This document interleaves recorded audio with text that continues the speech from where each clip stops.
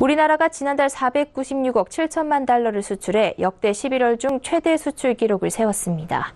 산업통상자원부는 지난달 수출이 작년 같은 달보다 9.6% 늘어 13개월 연속 증가했다고 밝혔습니다.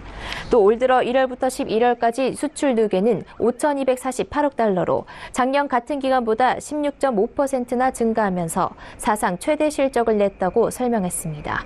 특히 지난달 일반 기계 수출이 사상 최대, 반도체는 역대 2위를 기록하면서 올해 누계로 두 가지 품목 모두 역대 최대로 나타났습니다.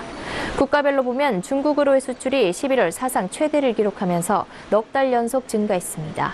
산업연구원은 올해 3분기까지 수출이 우리나라 GDP 성장에 얼마나 기여했는지를 조사한 결과 71% 기여한 것으로 나타났고 수출로 인해 329만 개의 분량이 일감이 생겨난 것으로 분석했습니다.